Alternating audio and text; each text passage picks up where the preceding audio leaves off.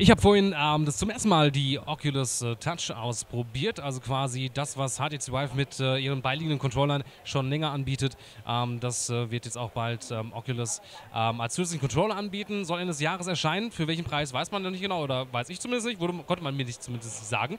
Ähm, ich habe ähm, Wilson Sword, das ist von Twisted Pixel, die unter anderem Splosion Man und Misplosion Man gemacht haben, angespielt. Ich kann den vorher nicht, der scheint wohl auch irgendwie so ohne diese Touch-Dinger zu funktionieren, beziehungsweise der scheint wohl irgendwie schon schon in irgendeiner Art und Weise ähm, erschienen zu sein. Ähm, ist so eine Art, ähm, ja, es ist so ein, so ein äh, Horrorspiel aus der Ego-Perspektive. Man wacht irgendwie auf in so einer Anstalt, ähm, zieht sich dann, äh, hat dann solche Handschellen ähm, quasi um und die muss man sich dann erstmal abmachen. Ähm, das ist es war ein sehr faszinierendes äh, Spielerlebnis, muss ich sagen. Ähm, da dass sich das ziemlich echt angefühlt hat und ähm, auch die, die, äh, ja, dass das Tracking sehr, sehr gut funktioniert hatte. Ähm, was mir äh, besonders aufgefallen ist, normalerweise bei der Oculus ähm, wird ja eine Kamera mitgeliefert. Ähm, hier wurden zwei genutzt. Ich weiß nicht, ob das jetzt äh, zwingend notwendig ist, damit die äh, Positionserkennung wahrscheinlich dann funktioniert. Es wird wahrscheinlich auch so sein, das ist ja dann ähnlich wie die Würfel bei HTC Vive und die erkennen dann auch ähm, insofern, äh, wo man sich dann auffällt. soweit ich allerdings weiß, ist das jetzt nicht so weitflächig, dass man sich so weit äh, bewegen kann. Ähm, ich stand auf so einem ja, auf so, so einem Quadrat und sollte mich daraufhin in diesem Bereich bewegen.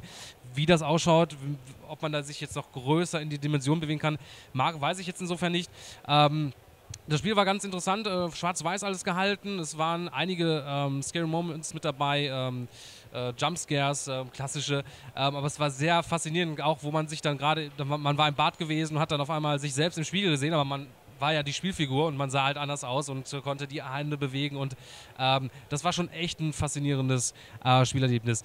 Ähm, da muss ich sagen, bei solchen Geschichten würde ich schon eher auf äh, VR soweit zugreifen, beziehungsweise äh, mir so etwas dann zulegen wollen. Ähm, das ist schon was ganz anderes, als wenn man nur statisch insofern sitzt. Ähm, ich glaube, dass äh, dort ähm, Oculus da halt groß was mitmachen kann. Ähm, ist halt nur die Frage, wie teuer wird das Ganze sein, ähm, gerade auch als äh, zusätzliches Zubehör für die Leute, die schon eine Oculus haben ähm, und wie sieht das dann aus, wie sich das in Zukunft verhält für Konsumer mit dem preislichen aus, ja.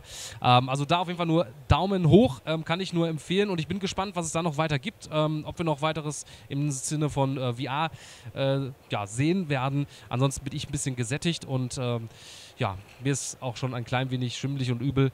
In diesem Sinne, ähm, ja, das war's von mir. Wir hören und sehen uns wieder. Adios amigos, ciao, ciao und tschüss.